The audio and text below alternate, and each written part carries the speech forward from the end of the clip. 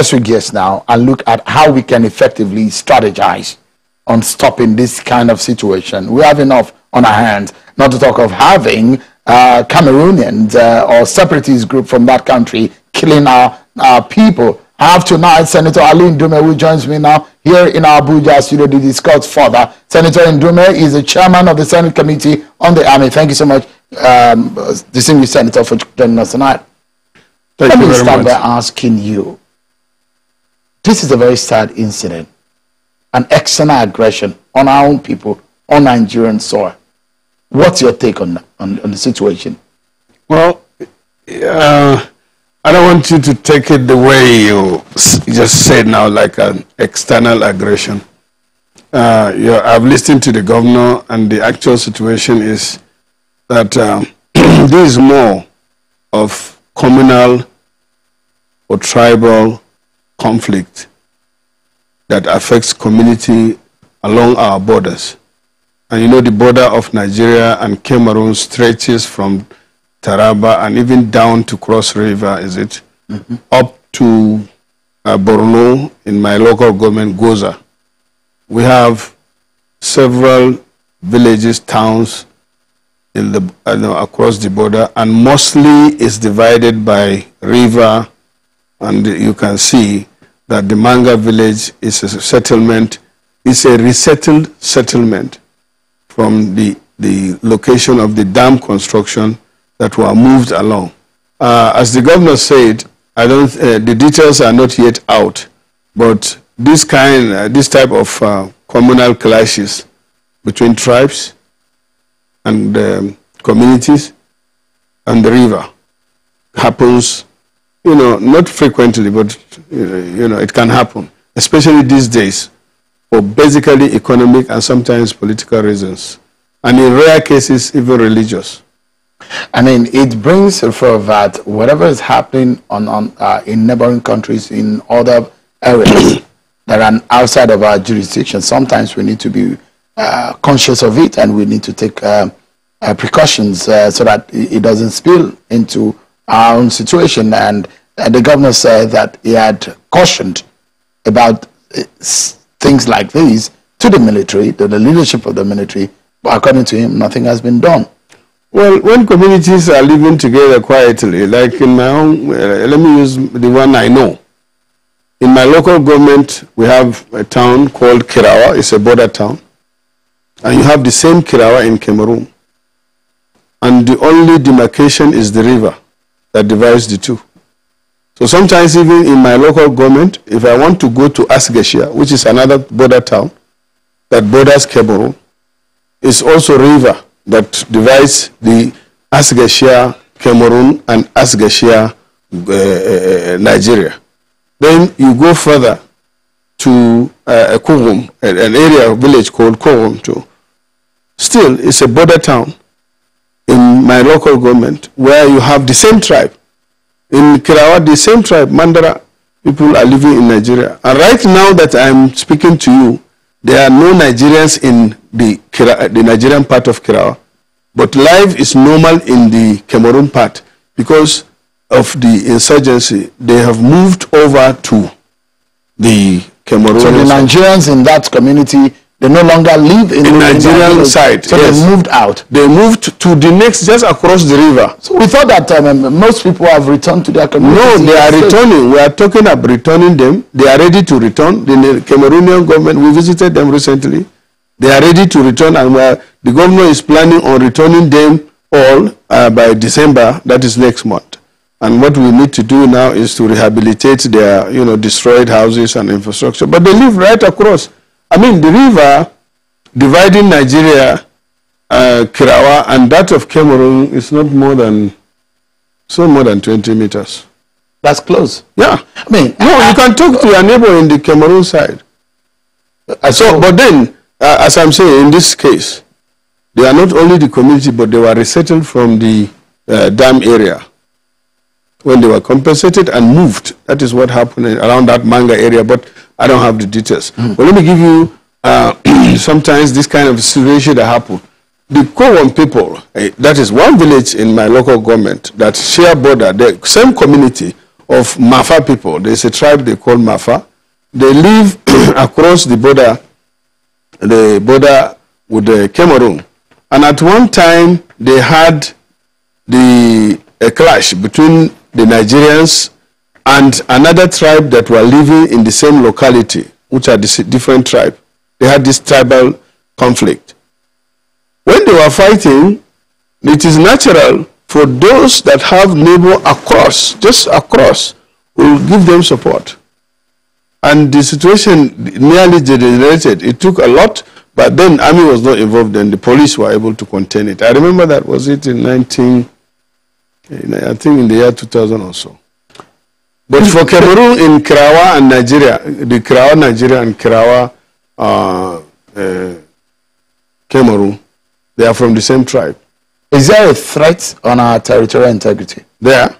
No, I'm asking, in some of these areas. No, with the, this one is not a, a, threat on our territorial integrity. What happened, as I said, what I'm suspecting, because the reports are not clearly out, is more of a communal clash than issue of... Besides, the Ambazonians are state, uh, a stateless group. So how can a stateless group attack a country that is a state? but they attacked the people. Yeah, they killed people. that is it. So, but so in, in, in, in, in, in uh, theoretically, we might be trying to find a word to describe it, but people's lives are lost. And so, whether or not their intention is to attack Nigeria, or I mean, but now they've killed people, and so th that's the reason why. So, but you're concerned. Well, you don't confuse the two, uh, Shehu. What I'm saying is the security to every Nigerian is a constitutional matter and is, in fact, is the main purpose of government. Absolutely. But that is not to say that, oh, Cameroon or whatever, Ambazonia you call them, are threatening Nigeria. Those are things. They are threatening Nigerians along the border. There is a community issue that affect Nigerians among the border. Now that this incident has happened here, there, and it continues, before it escalates to a certain level, the government needs to take measures to protect our people across the border community, across the community border. Before, in my local government, where I told you we have three or four villages that border Cameroon, you don't need police, you don't need anything. You just drive either your motorcycle or car and you stop by the gendarme or what they call it, gendarme or Nigerian immigration asks you where you are going, are you, then that's all. Nobody was anticipating this, but as the time goes on, uh, as I said, economic issues, pressures come up, political, and this, that, that creates this kind of a situation. Because I mean, but my fear, yeah. no, let me say, uh, uh, while, I'm, while I'm not saying Nigerians should go to sleep, but Nigerians, the way I read from the online social distance, people just talk out of ignorance and escalate a situation to look as if, oh, Nigerians are being attacked by Cameroon and all our people are dying and all that. Well, this incident is a serious one that needs to be looked into. But that is not to say that Nigeria is in any way under threat from any of the neighboring countries. That's what I want to say. And the Nigerian army, because they are engaged in unconventional war everywhere, eh, Cameroon will never dare Nigerians militarily. The Ambazonians or whatever you call them, they can never dare Nigerians. One battalion, two battalion will, will, will deal with them. But we have scattered problem in the country. Nigerian army is involved everywhere, and as the governor said, because we have been enjoying peace several for all these decades, we are thinking that oh, so the police is not equipped, uh, the army is uh, the air force, they virtually managing with absolute equipment for ceremonies, only once in a year they do uh, independence day. But now we are faced with uh, threats, security threats mm. everywhere. Because some of the stories that come up, I mean, lately, you will hear that even some of these, uh, the threats within these border communities, even in your Borno state, that there were stories as to uh, some communities uh, coming under the shield of these uh, Boko Haram because of some of the other threats that they see, paying them to, for them to, to I mean, these are stories that we hear. That is another mixture here we are with the issue in Manga, which the governor said here that he has not received report. We cannot be talking on it in the studio. But I'm asking now. I'm Secondly, the ones we are talking about now is a different thing. Insurgents invaded Borno State At one time in 2014, they took over over 22 local government. The Nigerian army have been engaging them for years, for 10 years now. We're getting to the end or near end of it. Then another group emerged that is more deadly and more professional. That is the ISWAP group. Now they take their territories and mark the soft spot areas, especially the abandoned villages. So many of them, you know. In my own local government, we used to have so many settlements, but all ran away and we are occupying only four or five now. So the other structures that are existing, the insurgents find them convenient, especially on the main highways, to station themselves there. This is why you hear of, like between Damboa and Biu, is only about 80 kilometers. But that is like a route of the insurgents, swaps, especially they find it convenient to rush across. So they take their time uh, sometimes because of the absence of the military presence there and the village Sabongari, for example, have been abandoned. They go there, occupy all the houses. And when they chase us out, they, they occupied my, my house in, my, in, in, in, in, in Gwoza until the army came and took over and drove them away. Then our people started coming gradually. So it's a different thing to say, okay, in Sabongari, are, people are not there, but they have run to Damboa and stay in a camp. If you have your house, and some of the villages are being wooed by the insurgents now to come back as long as you recognize us as a government. Those are the so the, so the terrorists don't hold any territory in your in Borno State. Not holding anywhere, but there are some. They are hibernating in those. Yes, eh, there are some towns that are abandoned, and they find it convenient to hibernate there, and in fact launch attacks or launch roadblocks sometimes. By the time we inform the military and the military runs there, they disappear. And in fact, these days they have a strategy of operating in, you know, in the forest now. From the top, the army can only, the aircraft can only see what is visible. So they normally hide under trees or they assemble under big. So the, the, the stories that uh, some of the terrorists protect some of these, uh, the natives are not true. stories, you know. You are hearing from the horses. And now I'm all confirmed so it's a story. I'm that the horses here, so let's hear from the man. no, you are telling me about stories. I'm telling you about what is actually. Okay, I wanted to confirm. Uh -huh. I'm true. saying I gave you an example of so many. Damboa is a local government under under my uh, senatorial district. From Damboa to Sabongari, mm. there is a town called Sabongari which is in between Damboa and Biu. Uh, because that route, they have a route. The insurgents have a convenient route for them. The army tried to station uh, a, a front operating base there. But they intensively, you know, kept on and we lost some soldiers there.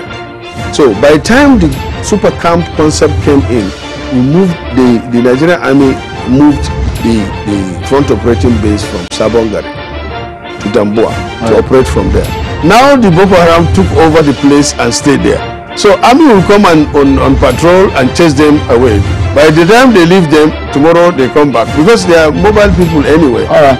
So, but not that is not to say now that in Sabongari, uh, Sab in Borno South, okay. in Borno South, there is a local government or a territory that is being controlled mm -hmm. by. Senator Ali Ndume, Senator Chair on the Army, thank you so much indeed for the insight that you have shared tonight. At least it's clear to some of the things that are happening.